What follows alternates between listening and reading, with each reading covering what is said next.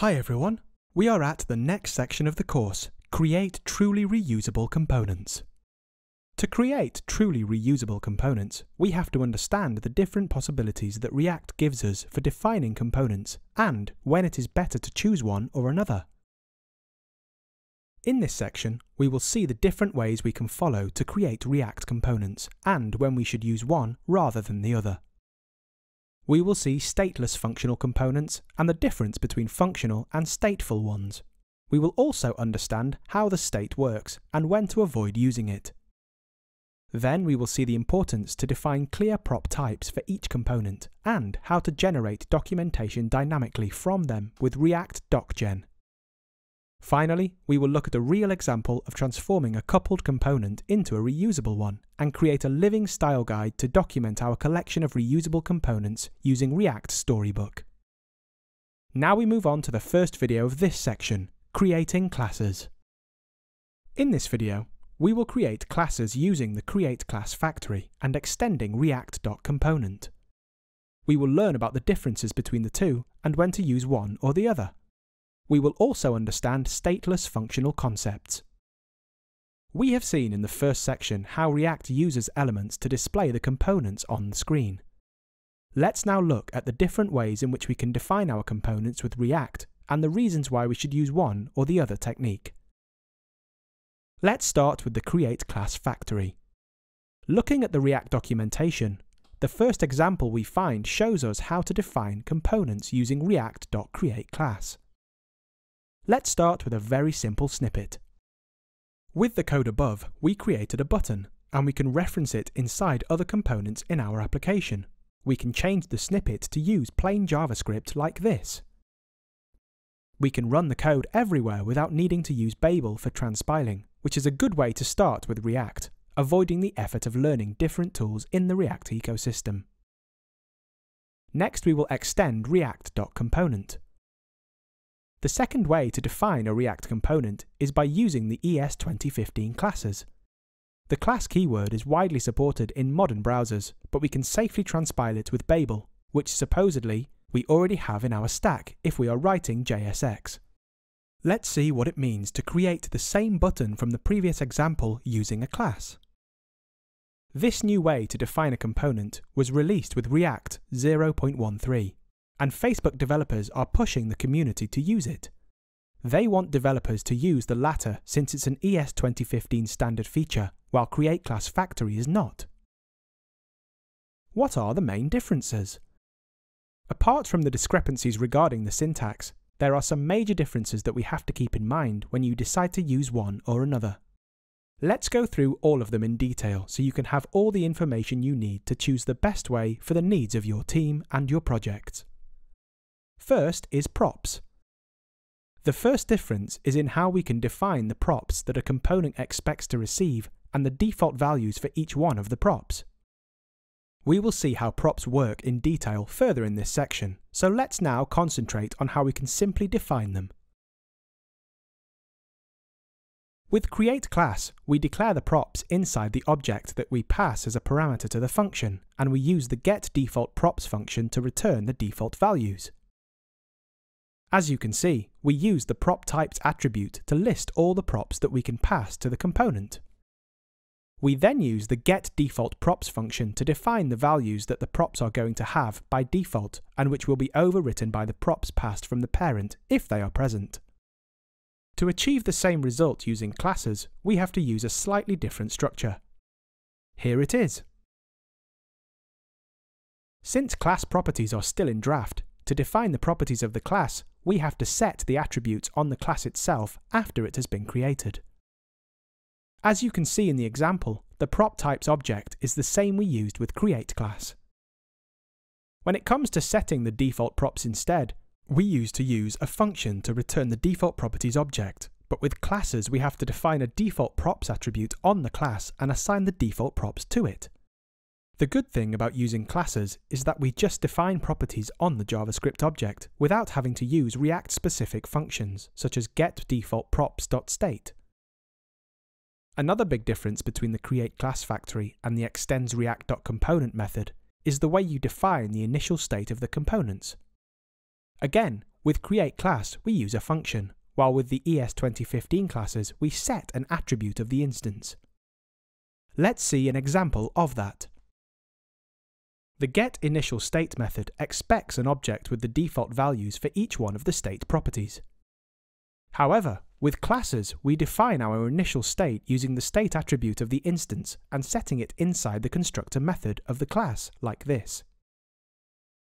This is our constructor placed here. These two ways of defining the state are equivalent, but, again, with classes, we just define properties on the instance without using any React-specific APIs, which is good. In ES 2015, to use this in subclasses, we first must call super. In the case of React, we also pass the props to the parent. Next, we have auto binding. Create class has a cool feature that is pretty convenient but it can also hide the way JavaScript works, which is misleading, especially for beginners. This feature lets you create event handlers assuming that, when they get called, this references the component itself. Write code for the browser. For now, we are only interested in the way they are bound to the components we are defining. Let's start with a simple example. With create class, we can set an event handler in this way and rely on the fact that this inside the function refers to the component itself.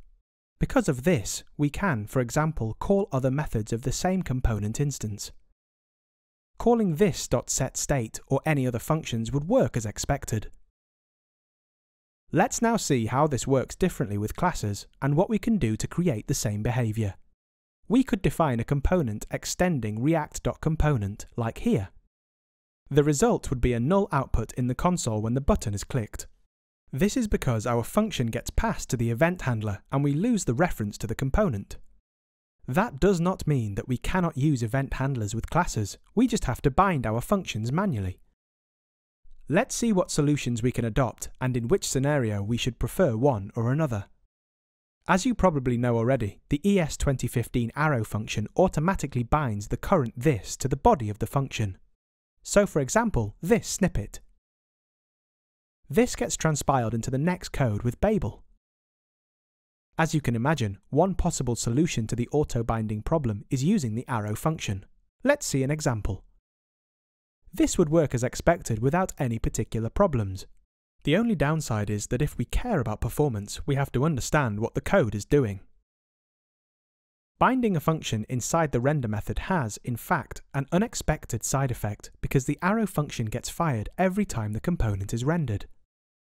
Firing a function inside the render multiple times, even if it is not optimal, is not a problem by itself. The issue is that if we are passing the function down to a child component, it receives a new prop on each update, which leads to inefficient rendering, and that represents a problem, especially if the component is pure. The best way to solve it is to bind the function inside the construction in a way that it doesn't ever change even if the component renders multiple times. This is the example here showing the same thing. I will align the code. That's it, problem solved. We will start with stateless functional components now. There is one more way to define our components, and it is very different from the previous two. This method has been introduced in React 0.14 and it is very powerful because it makes the code easier to maintain and reuse. Let's see how it works and what it provides first, and then we will dig into the cases where one solution fits better than another. The syntax is particularly short and elegant. Let's see an example. The code above creates an empty button and, thanks to the concise arrow function syntax, it is straightforward and expressive. As you can see, instead of using the create class factory or extending the component, we only define a function that returns the elements to be displayed. We can of course use the JSX syntax inside the body of the function. The next topic is props and context. Components that are not able to receive any props from the parents are not particularly useful, and the stateless functional components can receive props as parameters like this. Alternatively, we can use an even more concise syntax with the ES2015 destructuring. We can define the props so that a stateless function can receive using the prop types attribute in a similar way as we do when we extend components. Stateless functional components also receive a second parameter which represents the context. Moving on to the this keyword. One thing that makes the stateless functional components different from their stateful counterparts is the fact that this does not represent the component during their execution. For this reason, it is not possible to use functions like setState or lifecycle methods that are associated with the component instance. Next is state. The name stateless tells us clearly that the stateless functional components do not have any internal state, and the fact that this does not exist enforces it. That makes them extremely powerful and easy to use at the same time. The stateless functional components only receive props and context, and they return the elements. This should remind us of the principles of functional programming that we saw in the second section. Now we will see lifecycle. Stateless functional components do not provide any lifecycle hooks, such as component did mount. They just implement a render-like method and everything else has to be handled by the parent. Then we have refs and event handlers. Since there is no component instance, to use refs or event handlers with stateless functional components, you can define them in this way. Another difference of the stateless functional components is that, whenever we render them using the React test utils, we do not receive back any reference to the component. For example, here. In this case, the component represents our button. But in this case, the component is null, and one solution is to wrap our component inside a div tag, as shown here.